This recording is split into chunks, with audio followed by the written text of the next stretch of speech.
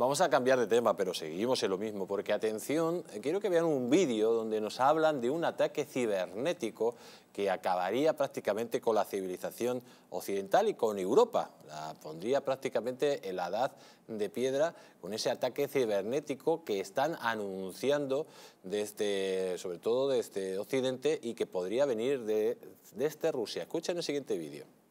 En 2020, Klaus Schwab del Foro Económico Mundial advirtió de un inminente ataque cibernético que derrumbará a la sociedad.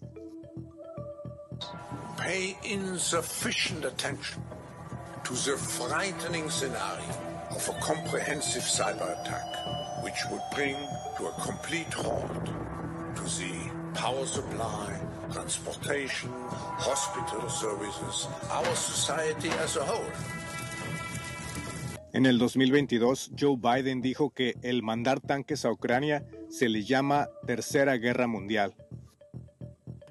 The idea, the idea that we're going to send in offensive equipment and have planes and tanks and trains uh, going in with American pilots and American crews, just understand, don't kid yourself, no matter what you all say.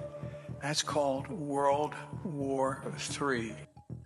A mediados de enero, uno de los directores del Foro Económico Mundial, Jeremy Jurgens, dijo que un evento cibernético catastrófico probablemente ocurrirá en los próximos dos años. The most striking finding that we found is that 93% of cyber leaders and 86% of cyber business leaders believe that the geopolitical instability makes a catastrophic cyber event likely in the next two years. This far exceeds anything that we've seen in previous surveys. La semana pasada, una ministra alemana dijo casualmente que estaban en guerra contra Rusia. And therefore, I've said already in the last days, yes, we have to do more to defend Ukraine. Yes, we have to do more also on tanks. But the most important and the crucial part is that we do it together and that we do not do the blame game in Europe because we are fighting a war against Russia and not against each other. Thank you. El presidente Joe Biden responde al mandar 31 tanques M1 Abrams a Ucrania. Today, today I'm announcing that the United States will be sending 31 Abrams tanks to Ukraine. Y ahora todos los medios advierten sobre la guerra nuclear o un ataque cibernético de Rusia. Be the first time they actually discuss it in Congress when we are hit with a massive cyber attack from Russia in response. Si no sospechas de algo al momento, entonces no estás prestando atención. Nuestro gobierno no está en guerra contra Rusia, está en guerra contra los ciudadanos americanos. Y en orden para reconstruir mejor, necesitan su ciberataque. Ahora tienen su encabezado y los medios entierran sus uñas en las heridas postraumáticas de todos los americanos, para que no hagamos nada y nos quedemos en casa sentados con miedo, esperando el final.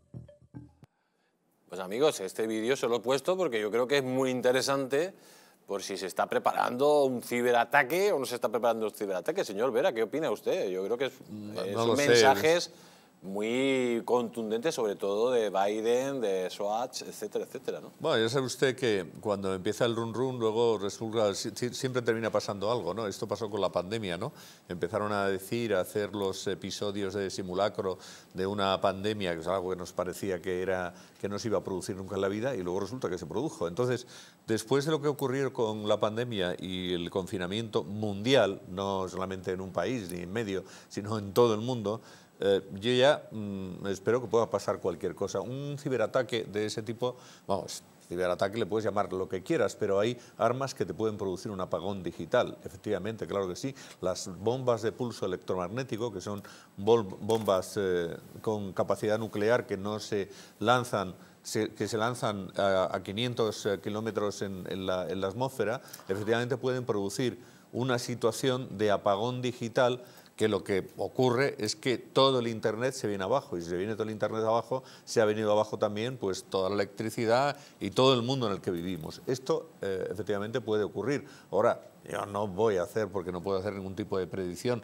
cuando personajes como el presidente del Foro Económico Mundial, este tipo tan siniestro, empiezan a decir cosas de este tipo, yo creo que sí que eh, hay que empezar a pensar que, en efecto, alguna cosa de, esta índole se podía producir. ¿no? Esperemos que no, pero eh, vaya usted a saber. Yo creo que esto es una estrategia para seguir manteniendo al mundo sometido con miedo. Eh, ya pasó la pandemia, ya se declaró una enfermedad así endémica y por tanto el miedo estaba bajando y requieren incrementar los niveles de miedo en la población y por eso se han empezado a mostrar mensajes de esta naturaleza. Creo que son estrategias para eh, conservar el poder y la única manera de que ellos conserven el poder es que la población tenga miedo y en base a ese miedo y a una crisis que se presente, entreguen más sus libertades, como ocurrió con la pandemia y como ha ocurrido a lo largo de muchos años, porque estos hombres sí saben lo que quieren y cómo conseguirlo. Claro, a veces no se les da.